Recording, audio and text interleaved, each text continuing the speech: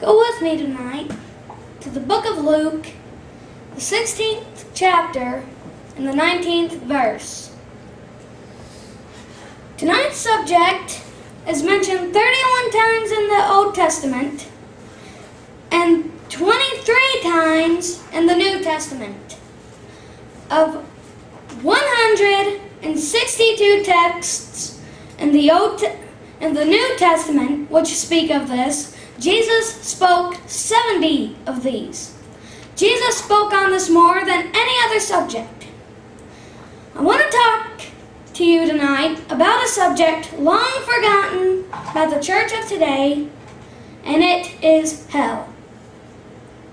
Amen. The Bible speaks of a rich man that in life had everything he wanted, but we find him in eternity in torments. This was a reality, not a parable. It don't represent the grave. It is a true story. Amen. Luke 16 and 19. There was a certain rich man which was clothed in purple and fine linen and fared sumptuously every day. So he had a good life. Everyone wanted what he had. Yeah. The Jews of Jesus' day concluded that riches were the favor of God and, pro- and poverty was the curse of God. We're doing this today too. Come on. Verse 20 And there was a certain beggar named Lazarus, which was laid at his gate, full of sores. He had nothing. Come on. The people of his day didn't want to do, he they didn't want anything to do with this man. Amen. Verse 21 And desiring to be fed with the crumbs which fell from the rich man's table, moreover the dogs came and licked his sores. None envied this life. The beggar wouldn't fit in the prosperity gospel of today. Amen. Verse 22 And it came to pass that the beggar died and was carried by the angels into Abraham's bosom. The rich man also died and was buried.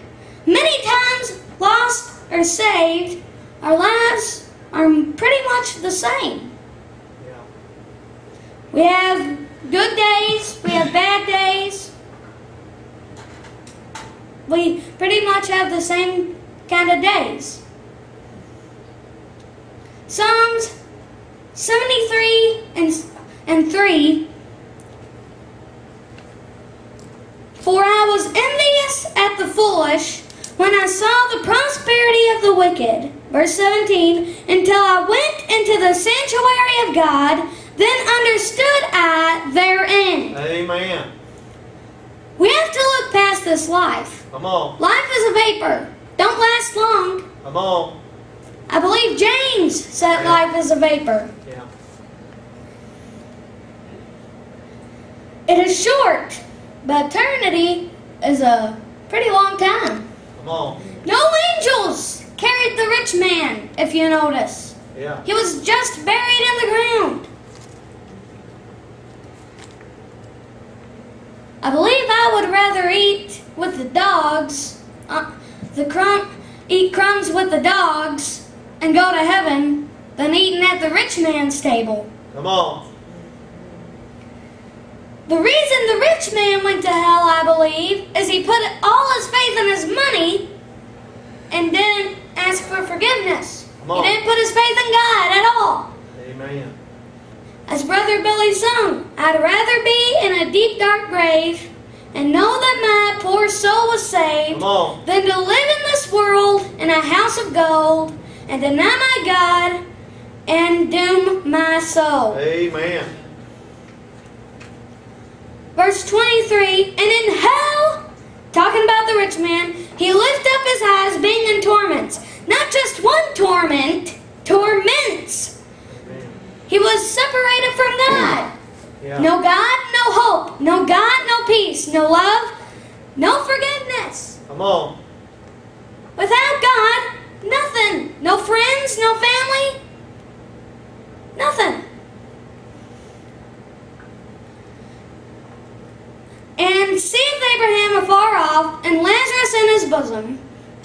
Verse 24 And he cried and said, Father Abraham, have mercy on me. There ain't no mercy in hell either. Come on.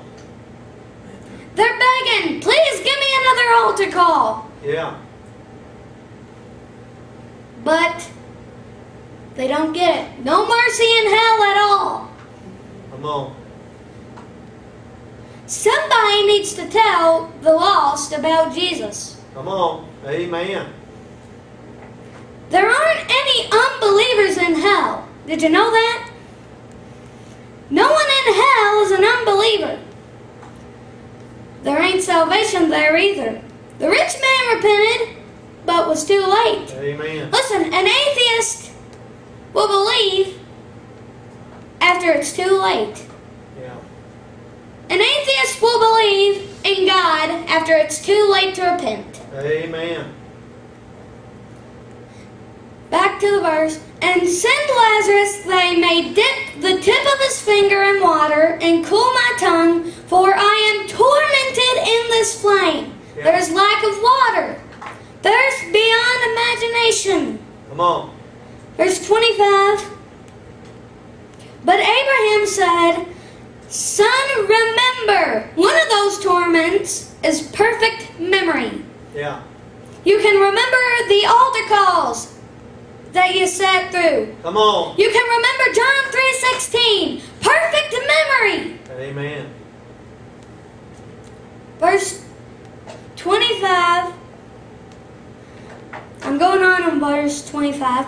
That thou in thy lifetime receivest thy good things, and likewise Lazarus evil things. But now he is comforted, and thou art tormented. So it's opposites. Amen. Now it's the opposite of when they were in life. Verse 26 And beside all this, between us and you, there is a great gulf fixed, so that they which would pass from hence to you cannot, neither can they pass to us that would come from thence. There ain't no way of getting out. Come on. Amen. Verse 27 Then he said, I pray thee, therefore, Father, that thou wouldest send him to my father's house. He's saying, Send him a preacher. Yeah. Come on. Verse 28 For I have five brethren, that he may testify unto them, lest they also come into place of torment. Yeah. Luke 16 and 29 Abraham saith unto him, They have Moses and the prophets. Let them hear them. Talking about they had the scrolls of Moses. That is true. They had the scripture to listen to. Yeah. And if they didn't believe, they didn't believe.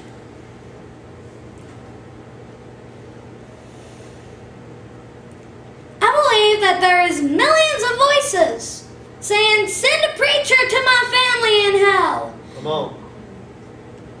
And they have the books, they have the scriptures, they have the prophets, they have Moses, they have Jesus. They have more than they had when the rich man went to hell. Come on.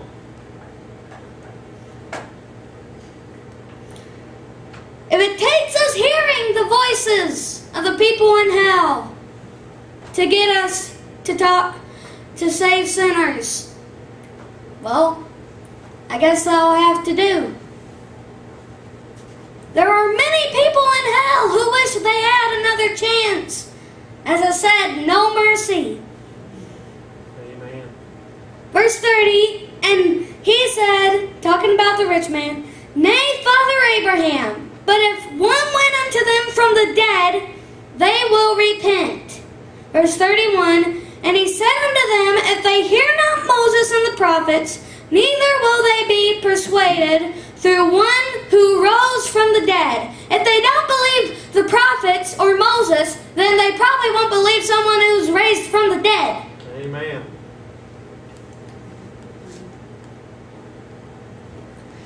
If a rich man could write a letter, a letter to his brothers, here's probably how it would go. To my five dear brethren, I hope this letter finds you in health and happiness. I am, I am writing to you from a terrible place. I don't want you to come to this awful place of torment. We believed a lie. We thought having money and the right friends would take us to heaven. See, brought up faith and money. Yeah. Do you remember Lazarus the beggar? What a mess of skin and bones laying at my gate, full of sores and starving. I never had time for someone like that. I always said, let the government take, let his family take care of him. Yes, we were religious people, my brothers, but thou have to accept but you have to accept Jesus to make it to heaven. What I want to tell you is you must truly be born again. Then your heart is changed and not full of the empty religion that we trusted. He said empty religion, meaning like Jesus ain't part of the religion. He ain't in that religion. Empty religion that we trusted. Please call on the name of the Lord while there is time. Please don't come to this awful place of torment. I can see Lazarus beyond the gulf in paradise. He is at peace, and I see no more sores on him. Amen. So, when, so about heaven, if there's any sores on us now, there won't be in heaven. Amen. No sores. He doesn't look sick like he did before. Oh, if I could only be there with him and not in this place of woe and endless hopelessness.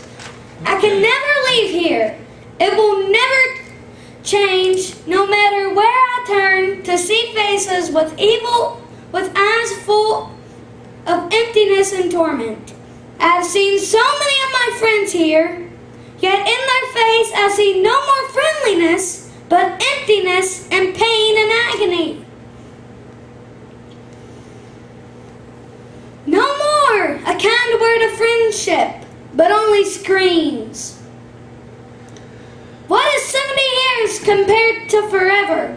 I would trade all of my, my worldly wealth that I had and lay at the gate with the dogs if I just had one more chance to make it right. Please, brethren, warn our family to wake up and pray. Don't be lost. Don't come to this awful place. Don't come to where I am. There is no escape.